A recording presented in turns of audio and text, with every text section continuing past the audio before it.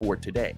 Yeah, and it's hard to say really where to put most of the blame. I mean, some of it's just out of your control. The guy got hurt, torn ACL that, like you alluded to there, Chris, uh, you know, curbed some some decent progress that he was making. Uh, I think he was really showing some flashes as a rookie and maybe wasn't quite as productive early in his second season, but he was playing every snap. So he was getting the experience and, you know, he was turning into that every down linebacker that the Steelers wanted and needed him to be, even if there were, you know, some issues at, at times in coverage and things of that nature. But clearly when he returned was not the same player was was not the same um, you know run you know run stopper that they thought they were getting out of Michigan. And that's the hard part about it. You know, at the time, I don't think anybody disliked that pick. I don't think anybody really thought this guy's going to be a complete miss and not be here in four years.